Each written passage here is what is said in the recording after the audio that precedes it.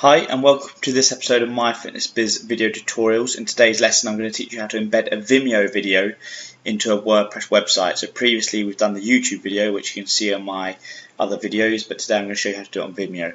So again I'm going to use a client of mine Kathy Hector at massageofbacktohealth.com website. So I've got my Vimeo uh, account open here and I've got the website open here on the page that I'm going to add it to. It's just a blank page at the moment I'm just going to add the video into here just as an example. So log into your Vimeo account and choose the video that you've uploaded and want to add in. So for this example, I'm going to use this oils and creams video. Click onto it and scroll down until you see the settings button. Click the change settings and you'll see this page come up. Now across the top here you can see basic privacy embed video file and advanced embed is the one that we want to choose. That's embed in the video.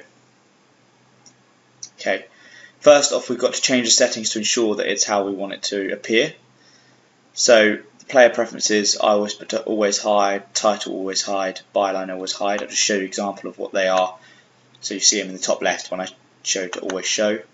My preference is to hide these and to keep consistent with the rest of the website, I put them on always hide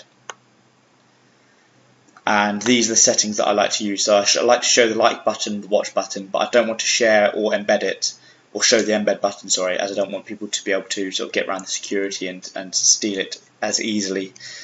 So also I want to keep the show scaling, so put it into full screen, show full screen button, and the play bar, so volume control and Vimeo logo. Outro, I don't want anything on there because I haven't got an outro set up yet, and the miscellaneous will leave unblank. So Make sure you click Save Changes in order to make your options correct. And you'll see your settings have been saved up here. Next, we have to grab the embed code. So you click this one here, Get Embed Code, and this pulls up the HTML information that you need in order to be able to import uh, embed it into your WordPress website. So right click and copy. And next we can move over to the actual website we want to embed it into. So this is the page that I want to embed it into, so I can just go up to the top into a dashboard and click Edit Page. I'm obviously already logged into the WordPress website here. If you haven't done that already, make sure you do. So page is additional. And then you've got to make sure that you're under the text tab on here. So that's because the visual, and this gives you the sort of the WordPad type format um, with all your, your sort of, uh, kitchen sink up top. If we go to the text tab, this is where we'll input it. So open it up, right click, paste and this brings in the code that we got from Vimeo.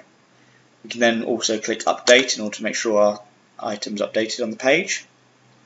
And once it stops circling, it refreshes and you see it's been updated.